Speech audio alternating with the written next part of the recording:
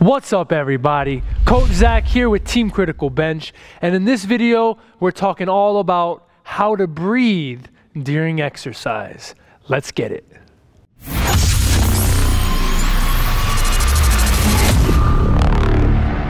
A question that I get all the time is, Coach, how am I supposed to breathe when I'm exercising? And a good rule of thumb is as best you can, try to breathe in and breathe out using your nose. I have several other videos talking about the importance of nasal breathing. You can check them out wherever they're gonna end up. But but just know that as best you can, try to breathe using your nose, especially steady state cardio. So if you're a runner, if you're a biker, if you're any type of cardio athlete, then you really wanna get into the habit of breathing the entire time with your nose. There's so many benefits of it. You will get those, you will get that oxygen into the tissues of your body, the muscles, the heart, the brain.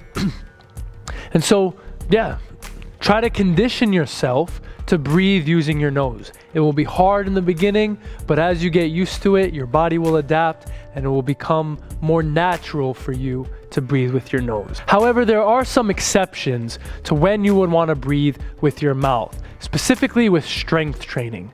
If you're about to lift some heavy weight, whether a deadlift or a squat, then a good technique that you can use is the Valsalva maneuver. This will allow you to create inter-abdominal pressure, stabilize your spine as you pick up and lower that heavy weight. The Valsalva maneuver is not for everybody.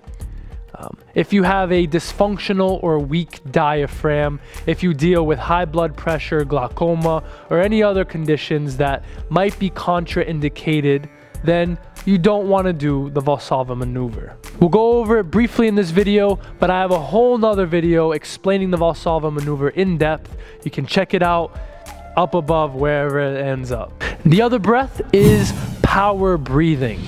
Now, this breath is going to help you keep that intra-abdominal pressure and just let you release it a little bit at a time. It's an inhale through the nose, exhale out the mouth through your teeth. I'll do a demonstration of that later in this video. Another big question that I get is, when do I breathe? In which portion of each exercise am I supposed to inhale or exhale?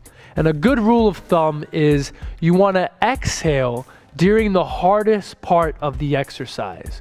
As you're lowering the weight, you want to inhale. And then as you lift the weight, you want to exhale. Take a dumbbell row. As you lift the weight, you want to exhale. And as you lower the weight, you want to inhale. Always exhale during the hardest part of the exercise. So now let's get into some demonstrations of the Valsalva maneuver as well as power breathing. Let's get into the Valsalva maneuver, a safe way that will allow you to lift heavy weight while stabilizing your spine. Again, don't do this if you have a dysfunctional diaphragm, glaucoma, or any other contraindications. So I'm gonna do this with the deadlift. So before you lift the weight, you wanna take a deep breath in, and then you wanna brace. So breath in, and then bring your navel towards your spine and lock it in with a full breath of air. So, hold the breath to the top and then you could let it out on the way down. Again, deep breath in. Again.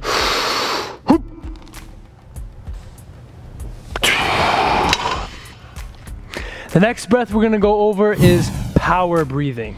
This is a breath that you should really stick to anytime you need to breathe in or out of the mouth. Now, this is a very powerful breath, and you can think about it, think about a boxer, right? Think about the, the sound that a boxer makes with each strike. It's like, right? It's the exhale through the teeth. What that's gonna do, it's gonna keep pressure in your abdominals, which will help stabilize your spine. What you don't wanna do is let a full breath out. So you never wanna be, and then, there goes all your stability, all your power, and you're putting your spine at risk. Again, in and out. Demonstrate using a kettlebell swing. So.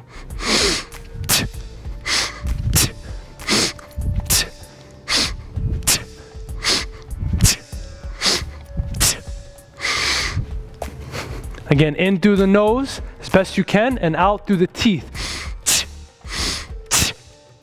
Power breathing.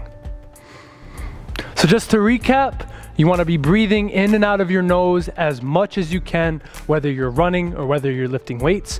But when you need to breathe out of your mouth, do that power breath out through the teeth. And when you really need to lift heavy weight, you want to use that Valsalva maneuver to help stabilize your spine if you don't have any contraindications. For more information about the importance of breathing, specifically through your nose, we have so many videos on this channel. You can check them out on the link above. As always, I'm Coach Zach with Team Critical Bench, and I'll see you next time.